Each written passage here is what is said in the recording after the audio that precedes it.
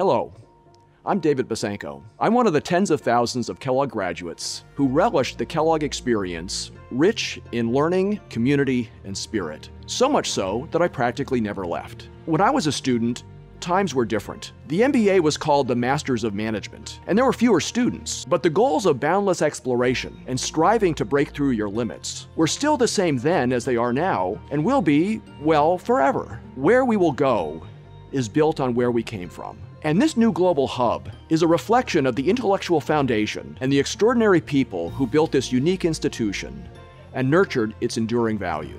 By the early 20th century, Northwestern's home, Chicago, had become the country's second largest city and the Midwest's commercial epicenter. It was the nation's most important rail hub, a manufacturing powerhouse with industries ranging from meatpacking to garment making, from electrical machinery to steel. It was a center for industries pioneering new approaches to mass marketing, including advertising and retailing, represented by the giant mass merchandising pioneers Sears and Montgomery Ward. But Chicago's business community needed more comprehensive knowledge when it came to maximizing opportunities in an expanding economy with ever more complex organizations. Northwestern's president seeing the need to create a college of business and finance, put it this way The average businessman is ignorant, inefficient, and cowardly, he said. He is uneducated and untrained in his own business. He is helpless in a crisis. The curriculum soon included finance,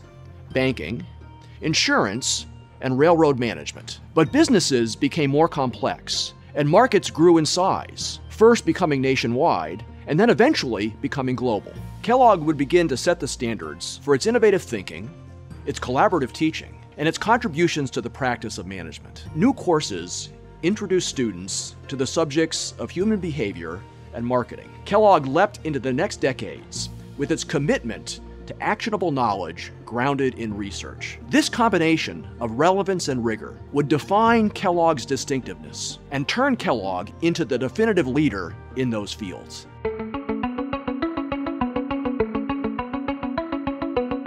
One of the things that makes Kellogg a really distinctive place is we were one of the first schools really to emphasize collaboration as a way for students to build their leadership capabilities and to learn from one another. I think what Kellogg stands for first and foremost is an interdisciplinary focus. What set us apart is the vision that you didn't have to come from business or be trained in business. And so that gave a rigor, a theoretical foundation. You take knowledge from fundamental areas. So you hire economists, you hire mathematicians, you hire psychologists, you hire people from all fields, which are not business necessarily, but put them in a class to teach MBAs and executives. And by doing so, they will turn their interest into more applied type of research that will become relevant for business applications, but they will bring in basic knowledge from a wide variety and richer variety of areas and enrich the environment. So what we really have is an increasing specialization. We have enormous numbers of deep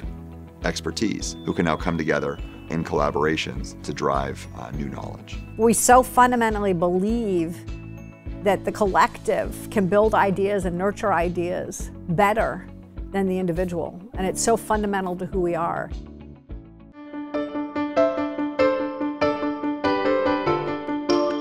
Kellogg would take the lead in studying business solutions that evolved through history. From expanding retail and manufacturing practices in the 1920s and 30s, to the problems of wartime in the 1940s, to the emerging need for professional development for executives in the ever more complex global economy that emerged in the wake of the Second World War. A development that led to the launch in 1951 of the Institute for Management, which served as a model for executive education for universities nationwide. And while the nation was experiencing its own self reflection in the 1960s and 1970s, Kellogg had its own passion for free thinking, with its 10th dean, Donald Jacobs, who inspired the institution for 26 years, beginning in 1975.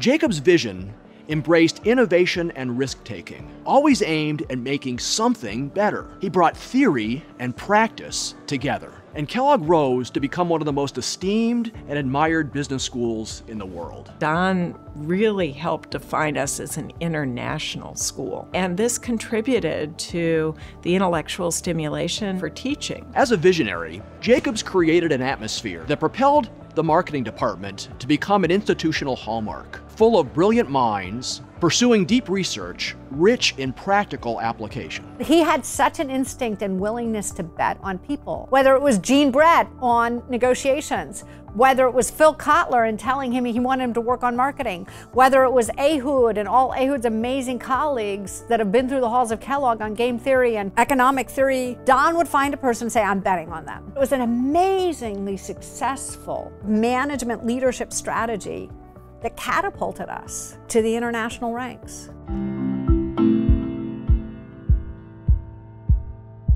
We're here, just outside of Chicago, which by the early 20th century had become the center of mass marketing in the United States. It is fitting, therefore, that Kellogg's contributions to marketing have had a long and distinguished history and have influenced management practice in profound ways. I think a pivotal time came in the 60s when we began to attract people from these other disciplines. The first that I think became a real thought shaper was Sid Levy, and uh, very quickly helped the school attract Phil Kotler. Right around that time, a third luminary, Lou Stern, actually graduated from the doctoral program. And I would say the three of them really made it an exciting place. They fed off each other and collaborated on really seminal articles that were published in Harvard Business Review that sort of defined the field of marketing. When Don Jacobs was a finance professor in the 1950s, he met a young economist with a PhD from MIT, and he encouraged him to apply economic analysis to the field of marketing and to apply for a faculty position at Northwestern University. His name was Phil Kotler.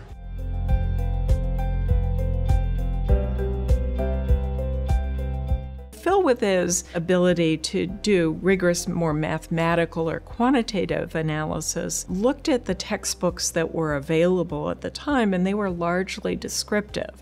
And he was inspired to bring more rigor to textbooks and the education then that the MBAs would receive. He wrote his first book in 1967, his marketing management book. If you meet somebody from anywhere around the world and they know anything about marketing, they know Phil's book. It's phenomenal the impact that book has had. It's kind of like the Bible, if you will, and its impact on the field of marketing. While Don Jacobs was working to build a world class marketing department, he was at heart an economist and he knew the importance of analytics. The 1970s saw the school flex its analytical strength with the founding of the Managerial Economics and Decision Sciences Department, or MEDS. Outstanding scholars created new frameworks rooted in economics, mathematics, and especially game theory.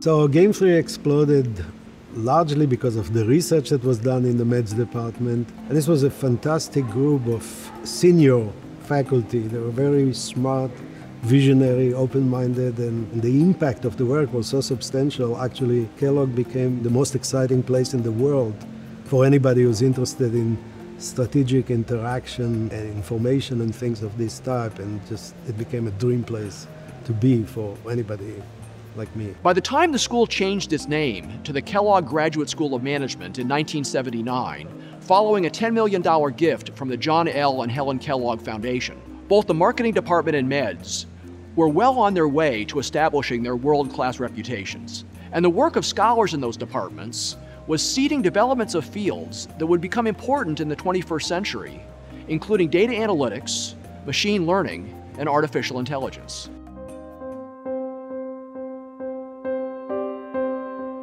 My job over eight years was to take what Don created and sort of pivot, polish Kellogg to work even better for the 21st century. And in order to do that, we had to take all these centers and begin to think what are some of the bigger overarching themes across them? And how do we take those themes and bring people together across all the departments, not just one or two departments, in ways that could foster more innovation? We needed more innovation in data analytics. We needed more innovation in entrepreneurship and innovation. We wanted to have more to say about the public private interface. And we really had to figure out what was our story about collaboration and leadership going forward. And I think that idea of creating new human technologies for continuing to foster innovation in new ways at Kellogg was really important. Kellogg is a big supporter of what's called the Data Science Initiative, which is essentially bringing the best minds from around the world to come here and work for two years on projects with faculty and one another to really push the boundaries of this whole area. So I think once you put together what the faculty are doing, and then you put that together with the MBA program and the undergrads and the graduate students in other departments, the initiative here at Kellogg is probably the best and most advanced of any other business school in the nation. One area where Northwestern and Kellogg have become, I think, world leaders in the last decade is in understanding the creativity aspect of science and technological progress and really mapping things down to teams, collaborations, networks, using those tools to understand what good creativity is, understand what kinds of organizations succeed or fail when it comes to this ever and more important task of both innovation and absorbing technological change in the environment.